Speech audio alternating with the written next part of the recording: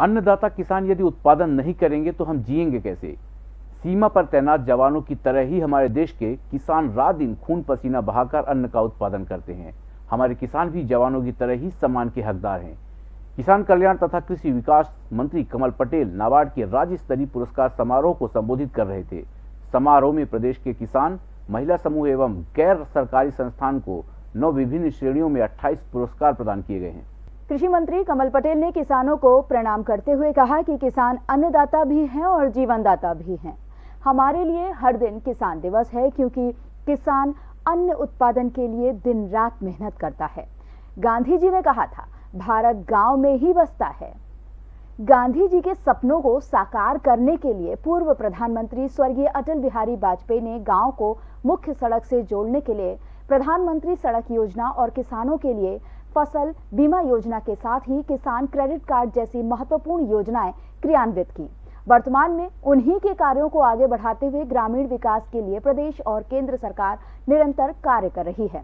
पटेल ने कहा कि राष्ट्रीय कृषि एवं ग्रामीण विकास बैंक और बैंकों में कार्य करने वाले लोग अपने कार्यालयों से बाहर निकलकर गांव-गांव जाकर किसानों को जागरूक करने के लिए चौपालों का आयोजन करें।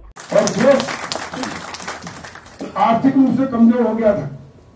लेकिन एक ही क्षेत्र था, कृषि, जिसकी विकास दर बढ़ती रही और उसके कारण आज देश खड़ा है, ज़िंदा है। तो आप देश को भी ज़िंदा रखने वाले और देश के नागरिकों को, दुनिया को ज़िंदा रखने वाले हैं। इसलिए आपके चरणों में एक बार पुनः प्रणाम करता हूँ।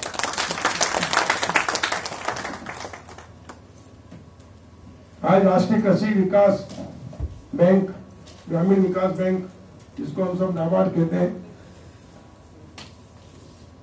उसमें किसानों के संगठन, किसानों के समूह, किसानों को सहयोग करने वाले एनजीओ, सामाजिक संगठन और हमारे किसान जिन्होंने खेती बाड़ी के मामले में नाबार्ड से जो प्रश्नावली या प्रतियोगिता थी जिसमें भाग लिया पुरस्कार प्राप्त किया, आप सभी पुरस्कार पुरस्कार प्राप्त करने वाले विजेता आप सबको बहुत बहुत बधाई। संगीत की स्वर लहरियों से सांस्कृतिक ताने बाने तक चंबल के पीड़ों से नक्सलवादियों के गढ़ तक झोपड़ी से महलों तक ठेलों से मेलों तक पगडंडियों से सड़कों तक गाँव से शहरों तक व्यापार से उद्योगों तक। राजनीति से कूटनीति तक। दखन न्यूज़। आपके हक